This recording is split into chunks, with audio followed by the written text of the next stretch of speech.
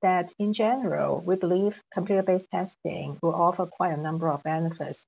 The first one is actually the operational flexibility, because by having a computer-based setting, it will actually enable quicker and more reliable adjusting landscape. Computer-based testing is also going to be more convenient and also socially distant. And we are able to actually increase the exam window and as well as the frequencies during the year. So compared with paper-based testing, computer-based testings will increase the number of exam administrations for every window and therefore providing candidates with more flexibility in terms of multi-days to take the particular exam. This will also enable us to actually increase a broader footprint of test areas. Last but not least, a fully digital format of computer-based testing is actually aligning to the real-world professional environments. And therefore, this will allow us better to model the tasks and also the problems that candidates are actually facing in their day-to-day -day work. And right now, globally, we're having a COVID-19 pandemic issue. And from the health perspective, most computer-based test centers are actually catered to actually for a safer environment because we'll be able to host a smaller number of candidates at the same time. And these computer-based testing centers are actually brick and mortar centers, and they are physically located globally. The most important thing about it is that we're able to hire proctors as employees and equip them with pandemic safeguards. In terms of all CBT test centers, they will be actually administered for a shorter exam. The new testing time and also the um, administration time together will be five and a half hours. Compared with during the paper-based era, it will be nine hours. They are more operate, op, they can be operated locally and modified for uh, the local um, operations and pandemic restrictions. And therefore, it will better allow us to enforce pandemic social distancing requirements more effectively.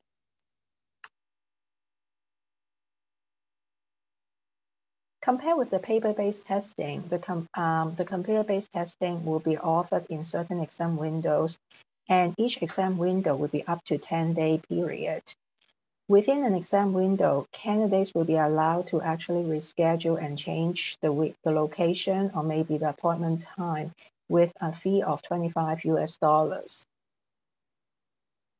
And with computer-based testing, we are increasing our footprint and locations. In addition to the 192 global locations we offer for our paper-based exam, the exam center will also be offered to more than 400 locations globally. It will be a shorter exam period from three hours each section to 2.25 hours per session. What is going to be unchanged is actually the exam format. For all three levels, we are not changing the testing item types. So for level one, it will continue to be multiple choice. For level two, it will be item sets. And for level three, it will be item sets and essay. Having said that, it seems like there are a lot of upcoming changes, but a couple of things are certainly not going to change. We're going to uphold the rigor of the exam. That really means that a shorter exam is not going to translate it into an easier exam. A few years ago, we invested an independent psychometric research body to do some studies for us. And we believe that with four and a half hours of testing time, we will have enough and sufficient data for us to determine a candidate pass or fail reliably. So the incremental one and a half hours of additional testing time is going to be negligible. The passing score calculations and also the standards we are going to evaluate if a candidate pass or not will also remain unchanged. And another thing that is important to candidates is that in 2021, the curriculum will also remain unchanged, i.e. the same as the 2020 curriculum. Here is the 2021 exam schedule. Level 1 will be offered four times a year in February, May, August, and November. Level 2 and 3 will be offered twice a year, with Level 2 going to be offered in May and August, and level 3 will be offered in May and September. In 2022, the frequencies are also going to, uh, to be same. Um, the only difference is actually when the exams will be offered. Level 1 remains unchanged, four times a year, and level 2 will be offered in February and August. Level 3 will be offered in May and November. I understand that some candidates are interested in terms of actually the mapping and also the footprint of taking computer-based testing. Our policy is that candidates will not be permitted to test in adjacent end windows. That means candidates will actually wait for six months in order to take the next level or repeat the current level. For example, if I take level one in February, I pass, I will not be able to take level two until August, not in May. The reason why is because we have some post-exam procedures to be performed, and such as standard setting and also the passing percentage to be calculated. And therefore, having six months in between will allow sufficient time for us. We also plan and schedule the sign-up window as well to make sure that when a candidate, in this case, get the results for the February exam, he or she will be able to actually sign up the level two exam in August. Talking about registration and scheduling, one thing I would like to highlight is that the registration and also the scheduling are two separate processes. Candidates need to register first and then to schedule the exam appointment. To register for an exam, please sign in into your account and complete the registration process. So that means you need to select the appropriate exam cycle. For example, are you taking level one, level two, or level three?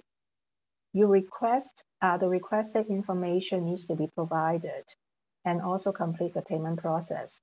Here, you're going to actually choose which particular administration you're going to take the exam. For example, I would like to choose to take level two in May 2021. Then the next thing is actually to schedule your exam appointment. And here's how you're going to do it. First, you log into your CFA Institute account. Then you select whether it is a CFA program or CIPM program. In this case being CFA program. Then you proceed past initial scheduling two pages and then you search the desired address, the city, i.e. the location where you would like to take the test for level two in May 2021. And then you select the date range, from which date to which date you would like to search for availabilities.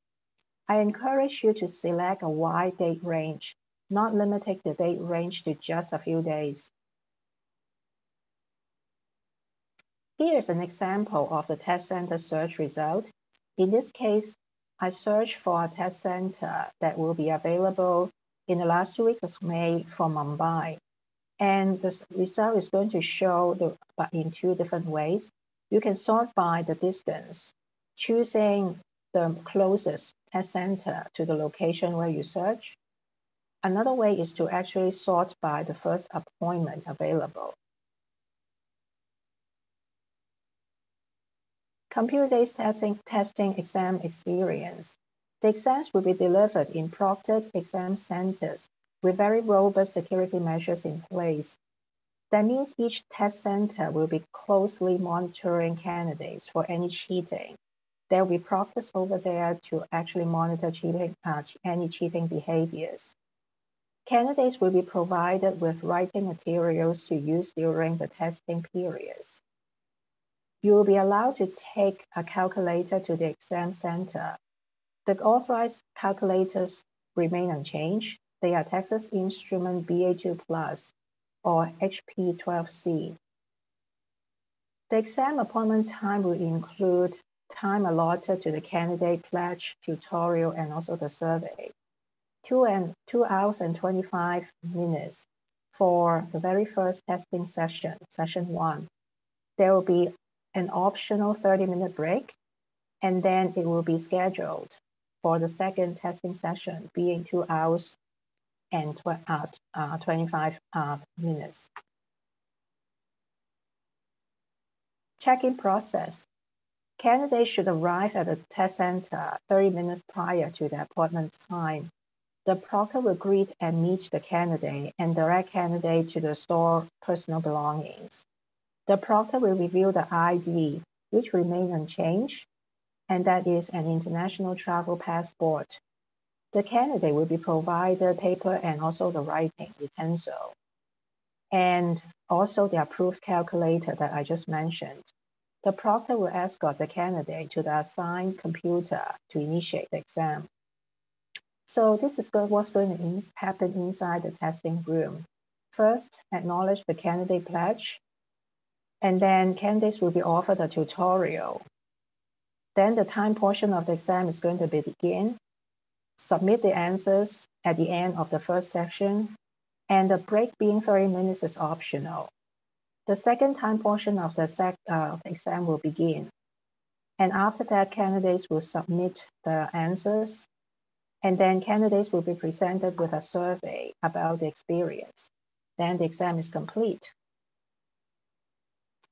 We have included an exam software tutorial in our CFA Institute landing page on Prometric's website for the candidate resource dashboard so that you can actually get yourself familiar about what is the format of the exam going to look like in this particular software. In addition, we also offer you some guidance in terms of what is the general overview of what to expect on the exam day. Here is how it's going to look like. You can search for the location in this landing page. You know what to do to prepare for the test day, what to expect, and also there's a tutorial showing you how to use the software in terms of answering the questions. Next, I would like to go over the exams. The curriculum is going to remain unchanged for 2021. The main reason behind it is because we understand that some candidates originally signed up for June 2020 exam. Then because of the deferral, they signed up for the December 2020 exam as well. In certain locations, we can't really hold a physical last paper-based exam that happened actually yesterday or the day before. We understand the, the burden and also the stress on candidates, and therefore we would like to keep the curriculum next year to be the same in order to actually lessen this burden and also the stress from adding new materials to the test.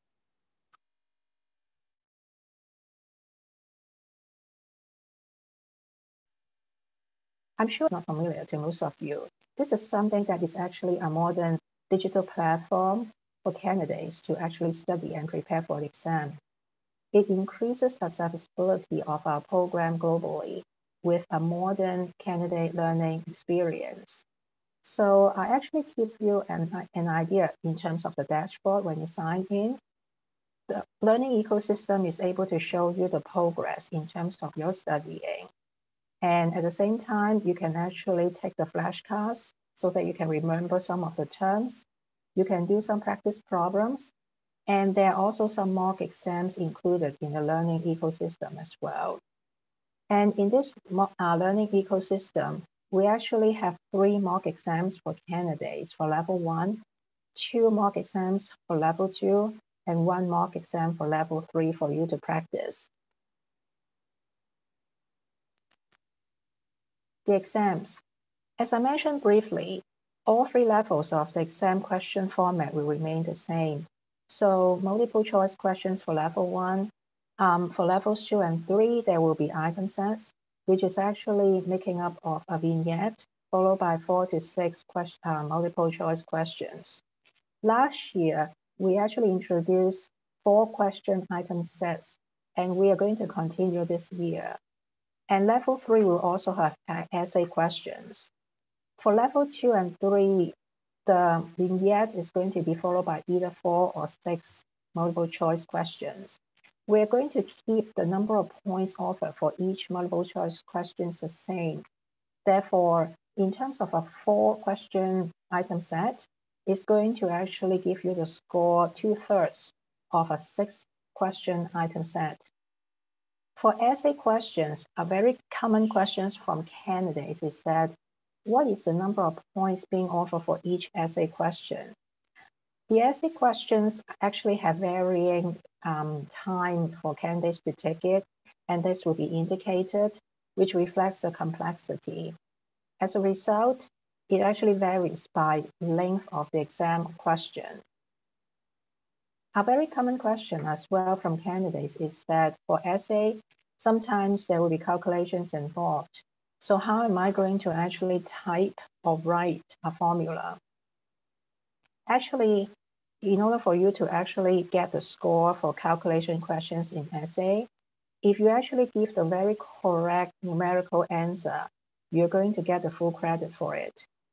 Having said that, I understand you would like to actually show the working so that you may be considered for actually partial credit and therefore you would like to type the formula in the software, there will be a, formula editor function that you will be able to type in the formula for calculation. Alternatively, in the box of the designated area, you can put in words to explain the steps being involved and therefore to show your analysis and calculations. In this case, your working will be shown or your formula will be shown, and as a result, these may be considered for partial credit for essay questions. In terms of the exam results availability, in the meantime, for 2021 exam, they are going to continue and remain unchanged. For level one, it will take 60 days in order to get the result. And it is going to be the same for level two. And for level three, it will take 90 days to get the exam result. We have already budgeted this time period to ensure that when candidates get the level one result, for example, he or she will be actually able to sign up and register for the next upcoming exam window for the next level. Based on our survey to successful candidates, we understand that candidates who are successful to pass the exam on average take more than 300 hours for the exam.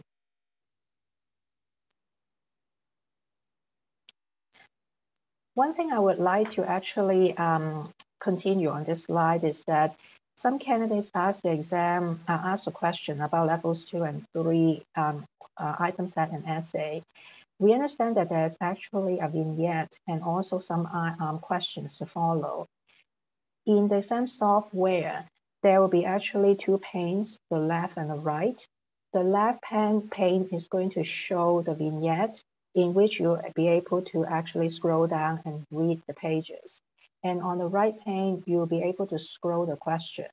So therefore, you can actually keep your left pane to see the vignette or the story while you're working on the questions that actually follow the vignette. The exam topic weights are going to uh, remain unchanged for the computer-based testing compared with paper-based so for all three levels, there are actually 10 different topics, and they actually show different percentages, and they vary by actually the level of the exam. Um, one thing that is being um, core is actually the ethics and professional standards. As you can see that it actually remains for all three levels.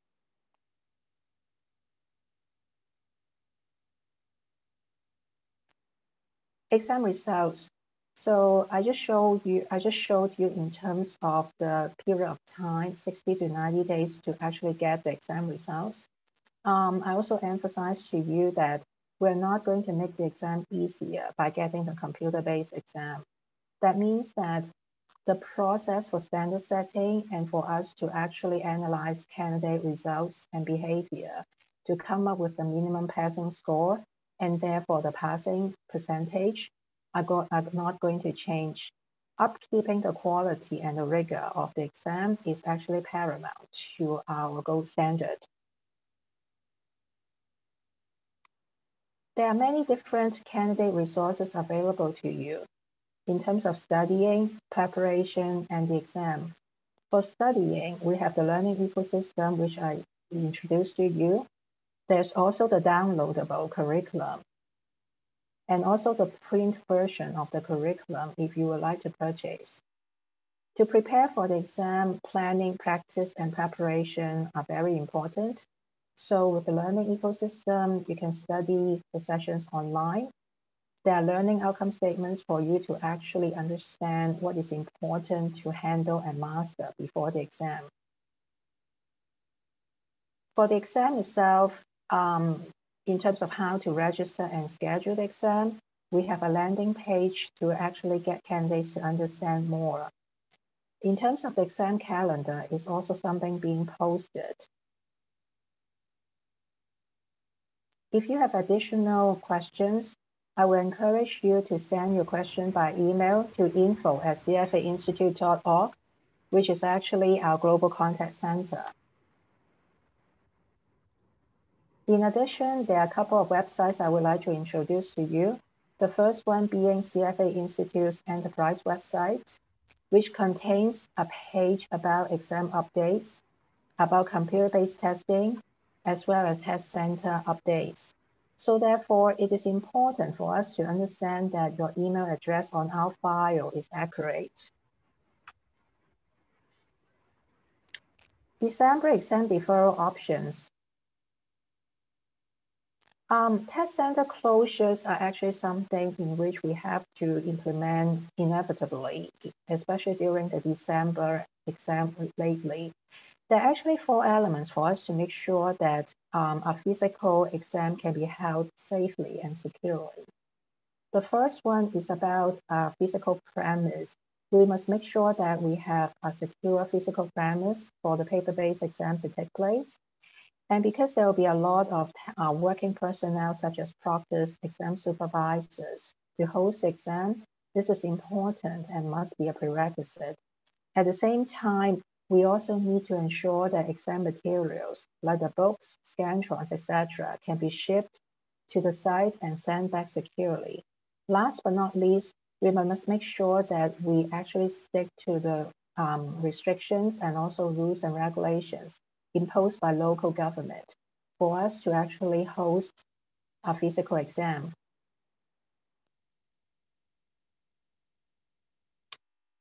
I understand that some of you are actually twice impacted.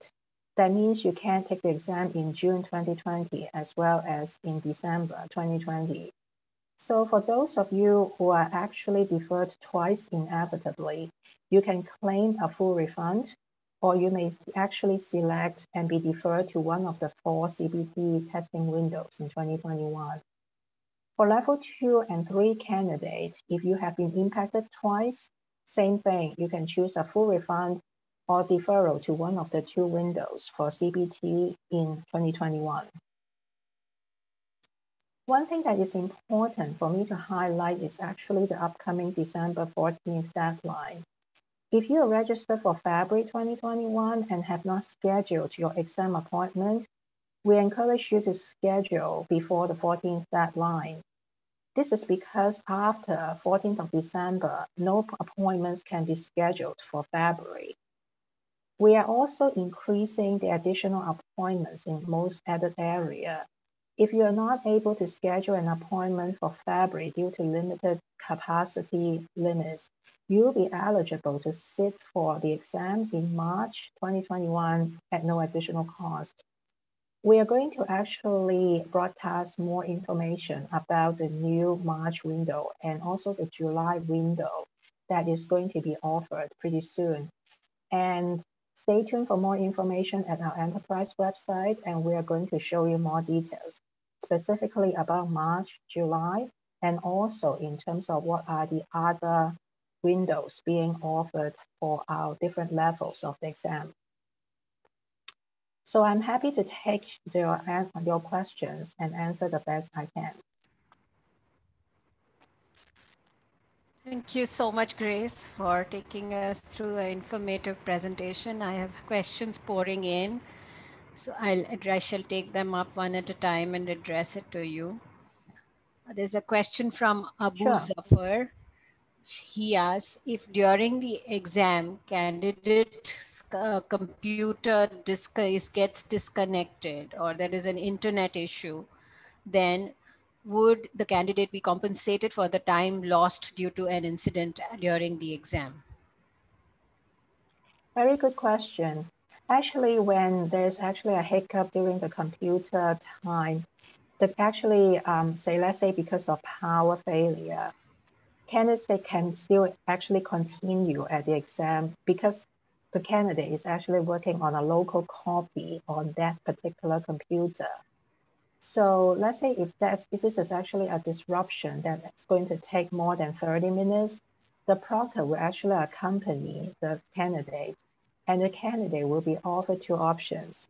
Continue to wait until the disruption is being resolved, or the candidate may actually take the exam again within the same administration or the window.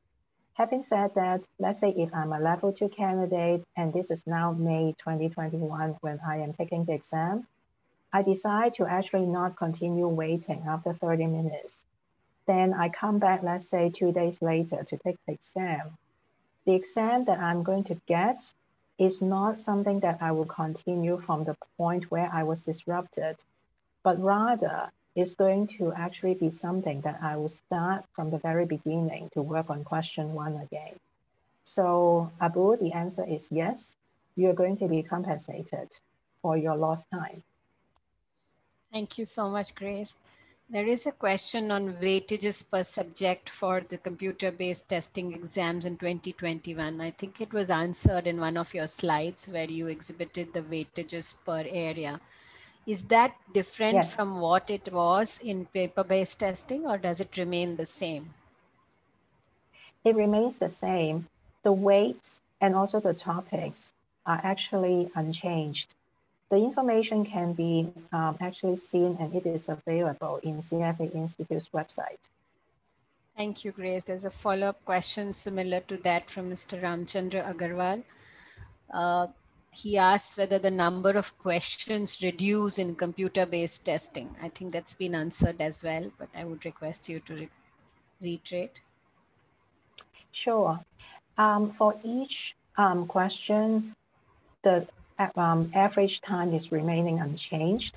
So for example, in level one, it's actually going to be still one and a half minutes. And then for level two in the item set, each question is still going to be three minutes. Therefore, for level one, for example, you're actually going to get fewer questions in proportion.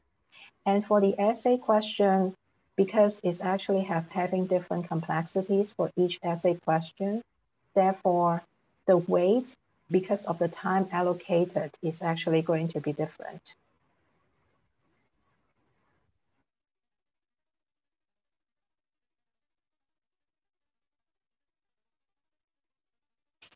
Question remains the same. So since the number of time allocated changes, that will change either. Uh, there's a question again whether uh, whether there will be a dynamic difficulty of questions offered, as in, and I think the question means if the questions will change according to the dynamic difficulty process. To my understanding is that this is actually continue to be just like paper-based exam. That really means that the points and hence the difficulty rewarded will actually remain just like in paper-based exam. Therefore, what does that mean is, yeah, what does that mean is that we actually have a, um, a range in terms of um, complexities and difficulties, even for level one exam. But having said that, each question is being one and a half minutes. And therefore, my advice to you is that if you find this question being more difficult, don't overspend the amount of time on it. Each question has the same weight and has the same number of points, and that is worth one and a half minutes of your testing time. Okay. Thank you, Grace. There are a lot of questions on uh, the scheduling process as well as the exam experience. Let me take those up on the exam experience in the first place. Uh, the questions being asked here is, can you please provide us more details on what can be carried for the exam? Uh, are writing materials allowed to be carried during the exam? What other items are allowed. And also there's a question again on calculators, whether candidates can carry more than one calculator during the exam. Sure, um, candidates can actually bring two calculators, just like paper-based exam. And um, in terms of the writing materials, candidates will actually be provided like um, something to write on and my understanding is that there will be two pages, two faces to it, and also a pen to write on it as well. Um, if you would actually like to get more pages or more space to do your rough work, you'll be able to actually erase your work on these two sides and therefore continue to actually write more. Brilliant. So Rabia has a follow-up question which might help. Uh, she wants to know, I would like to know whether we can go back to previous question and answers after answering and moving forward. Will we be have the option to revise and go through our answers or change our answers later? Absolutely. Now, one thing I would like to talk a little bit more is that there will be two timed portion for the exam. In the very first timed portion of the exam that is before the break, you'll be able to jump around, let's say from question 60 and then back to question 30 and then go to question 90 like that. The software actually allows you to take a bird's eye view in terms of what questions have been attempted and which question you actually flag to, re to revisit later. You can actually flag a question if you want to go back later. The software also allows you to actually highlight key buzzwords for example, in item set and essay questions, you want to underline, for example, um, some important information. You can do that and highlight in the software. For example, in multiple choice questions, I understand that some candidates would like to do by elimination. You can also strike out some answer choices as well that you believe are unlikely. However, if you are in the second timed portion of the exam, which is actually after the break, you cannot go back to the very first testing session. Therefore, make sure that you remain in the same testing session, you feel comfortable, and then you do the submission.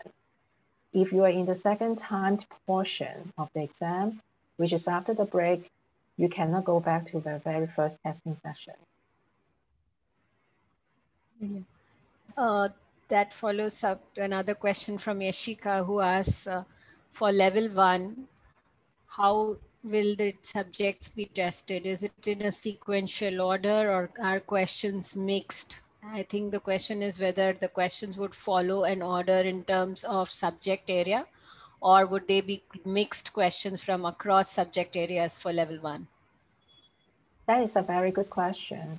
Um, as you can see that actually we have a couple of different um, topics in our um, curriculum materials.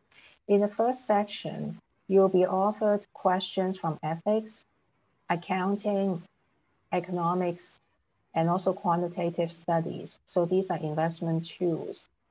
And then in the second section, which is after the break, you'll be tested portfolio management, corporate finance, equity, fixed income, derivatives, and alternative investments. So we put some questions of certain topics before the break and some after the break. Yeah. Uh, a lot of questions on uh, uh, during the exam. Again, I think it's a repetition of what you say, whether the rough work can be done on a piece of paper or it would all be on the screen. If you could please reiterate that, Grace. Sure. The rough work is actually something you can do it on actually uh, some materials that we will provide you, which is actually um, like um, a board or something like that with two pages. You can actually write on it. You can actually um, use a pen being provided to you at the test center that you can write on this board to do your rough work. And that means you're not going to type your rough work on the machine itself. If you need more space, more than the two pages, what you can do is actually, you can actually use a piece of tissue paper, erase it to make some space available and continue to do the rough work. Okay. Another question following that is about starting a module and leaving it halfway. If, um, if somebody starts a module, say the ethics module, and leaves it halfway, can they come back to it later? Yes, if it is actually within the same testing session. So using level one as an example, ethics will be offered in testing session number one. So therefore, within this testing session, you can actually go back and do the ethics questions again. Thank you, Grace. Uh, questions on the break that's there, the 30 minute break. Is it an optional break? And if one finishes uh, the AM session, can one proceed to the PM session without taking the break at all? You can do that. The break being 30 minutes is optional, so you may choose not to take a break. You may choose to proceed directly into the second session after you finish the first session. Or you can choose to take only 15 minutes for the break. For example, to get some water to drink or go to the toilet. Brilliant. A lot of questions on scheduling, if we can take them up now. Uh, for questions on uh, whether one can, when uh, some people are having difficulties uh, scheduling their exam for February. Uh, they have questions on till when they can schedule exams and what would be the process. And uh, if they there are issues or challenges due to a pandemic situation that they are not able to take the exam in February after registering for it, what options do they have? I think one thing we all have learned from the pandemic is that there are many uncertainties which I do appreciate your perseverance and also your agility for it. So in terms of scheduling, I understand in India, there are quite a number of locations reaching the February capacity already. We are actually going to offer new exam administration windows that's going to be in March that will be available. And hopefully we will be able to cater some of the candidates who are deferred in December, as well as not able to schedule but registered for February to make use of this window. My understanding is that more information will come this week, and therefore please go to our website to understand the new window, which level will be offered, and what are the different options. Okay. There are questions on changing uh, exam dates from say February to May. If somebody is already registered for the February exam, would they be able to reschedule to an exam in May or August? Yes, you may. But one thing to remind you is that in this case, because the rescheduling is not within the same administrational window, therefore you need to pay for actually the new registration fee which is 700 to 1,000 US dollars. The US $25 of the rescheduling fee applies only within the same window. That means I'm changing the date from May, from let's say the first week to the second week of May. The 25 US dollars do not apply to change the exam administration, for example, from May to August. Uh, there are questions. Thank you, Grace. So just to reiterate that the $25 fee is uh, for rescheduling is applicable only if you reschedule within an exam window. That is, you reschedule your May exam in May itself, not if you reschedule from May to August or May. If one reschedules from February to another exam window, that is May or July, then one has to pay a much higher fees, which is 700 or 1000 US dollars. Right, Grace? Yes, thank you thank so you, much for that clarity. Thank you. Yes. Uh, thank you, Grace. Uh, questions again around scheduling. Uh, if uh, one is not able to get a particular exam, a free window, exam testing window or sitting in February, what are the options available to candidates who have registered for February? Good question. Um, we are trying our best to actually add capacity to the local markets. But if the capacity is really limited for February for level one, we will contact the candidates about it and offer different options. So therefore, please stay tuned for our email if this is the case.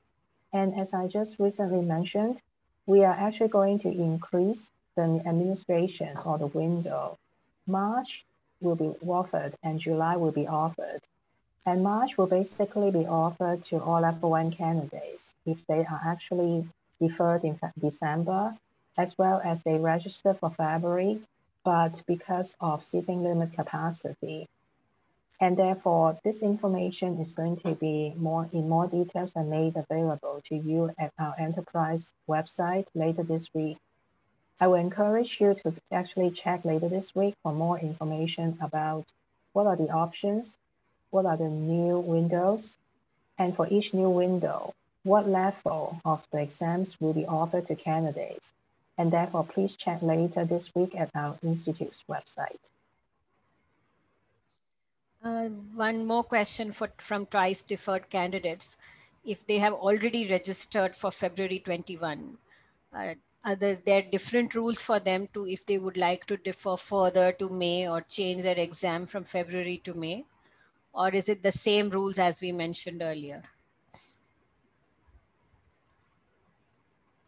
If the, actually the deferral is caused by, let's say, local restrictions, or maybe due to, for example, um, pandemic situation, we understand that this is actually inevitable and not controlled by candidates. We will contact you timely and offer you the option. And if it is actually for February due to seat limits capacity, we are also going to contact you in terms of the different options available one option being available to you is actually the newly added exam window, which is March as well as July. So hopefully you will be able to schedule your appointment in March or July. There's a question on March whether the deadline for registration for the March window would be before 14 December or after 14 December. What we would be the deadline for registration for the March window? Stay tuned until later this week to take a look at that. Just want to make sure that this information is actually made available to all candidates impacted globally. And this is going to come out in 48 hours. Okay. Uh, let me take some questions regarding the exam pass percentage. There are a few questions on how we determine pass percentages and how if whether it's going to be different you've already stressed on the fact that the standard setting process remains the same uh, could you please throw more light on the standard setting process itself and how the minimum pass percentage is uh, arrived at at CFA Institute for CFA program exams? Sure. Um, we are actually following the best practices that most high-stake exams are currently taking in terms of cutting the pass score and hence the passing rate. This is a process called the standard setting, in which we actually involve a number of charter holders with actually different backgrounds, for example, academia and professional fields, for them to actually advise us in terms of what are actually some of the core competencies the candidates should be able to reflect in the exam questions. Then based on this analysis result, and because this is definitely dependent on the pool of candidates taken for each window, we staff are going to actually take a look at the results, review them, and therefore recommend what is the appropriate minimum passing score or the cut score and then we're going to actually have our recommendation being provided to the Board of Governors. The Board of Governors are going to actually make a decision in terms of this particular passing rate because this is definitely a reflection of the candidates in the pool who actually take the exam. Therefore, this particular passing rate will change from time to time from administration or window to another. However, this whole process will remain rigorous and we actually will keep it unchanged going forward in computer testing. Thank you, Grace. Uh, there are a few questions on mock exams that I would request you to answer. Uh, there are uh, there are questions on whether mock exams available on the learning ecosystem would provide sufficient experience of the exam environment and how it would be, and more uh, uh, feed the questions on where they can get an experience of the exam environment and exactly how the experience would be. Very good question. The mock exams materials are reflective of what candidates will expect on the live exam day. So therefore, make good use of the mock exams to actually test if you're actually ready and are able to actually master the materials. In terms of the exam experience at the particular proctored test center, please visit our website, the Prometric landing website which contains a tutorial of the software. And that is going to show you that particular software that you will use on the exam day. For example, how to strike out some options in multiple choice questions, how to scroll the vignettes for item set and essay, how to highlight the bird's eye view or the summary page to show you which questions are actually not attempted which questions you have flagged for yourself to revisit later like that. Therefore, I will encourage you to do both. Do the mock exams as well as visiting this particular tutorial about the software. Okay. Uh, some questions I'd like to take, especially on uh, how far scheduling, I mean, scheduling exams again is how far into the future can I schedule the exam? can I go beyond August? And if one fails an exam, what is the earliest one can take, earliest attempt that one can take the exam again?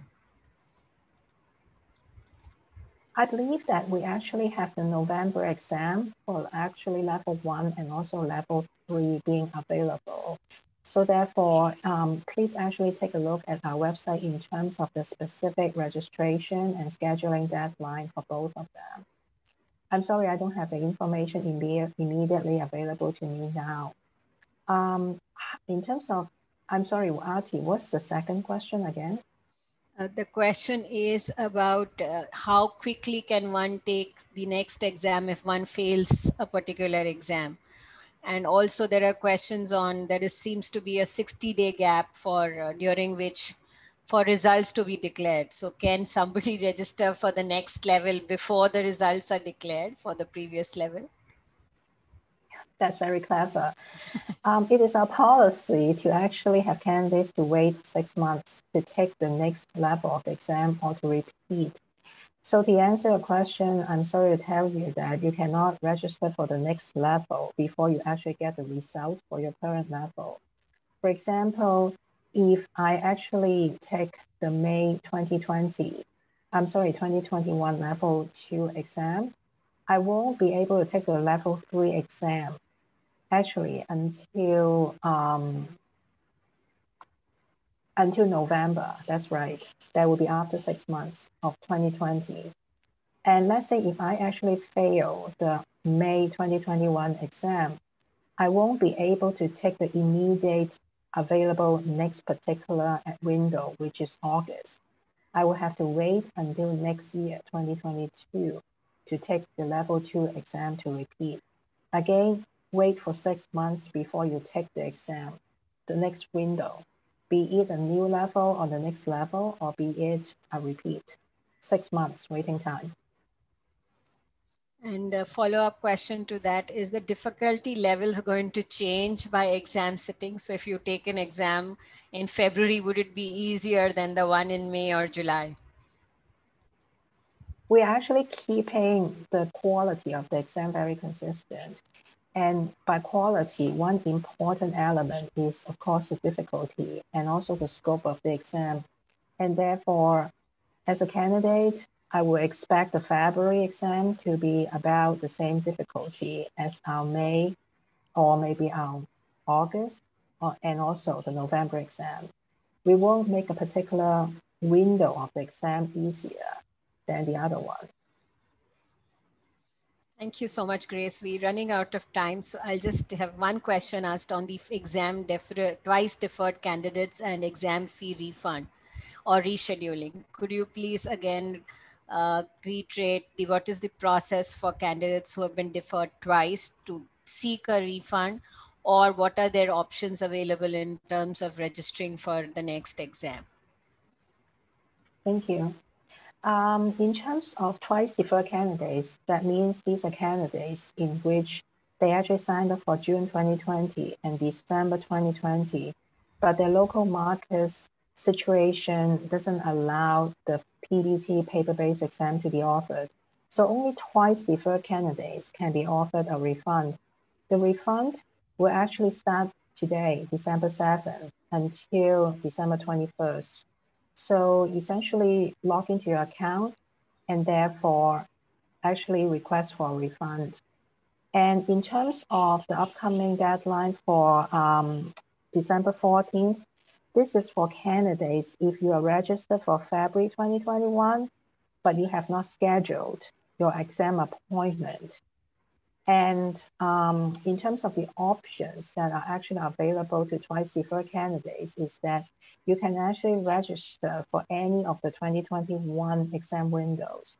So currently February is closed. That means you can register for May, for August, and also for November. Thank you so much, Grace, for patiently answering all the questions. There are still quite a few questions, and my apologies to the participant attendees that, that we have not been able to address some of your questions. You still have, might have specific questions on specific individual issues or challenges with respect to especially deferral fees, etc. I would request you to please contact CFA Institute's Global Contact Center at info at cfainstitute.org or call our toll-free numbers as listed on our website for answers to those specific individual challenges. Uh, we, if you have missed any part of this webinar or would like to go through this presentation, uh, then on the, the chat box now, we have had uh, the link to download the presentation listed. This entire webinar will be hosted on the YouTube site of CFA Society India in a few days, and you can access that.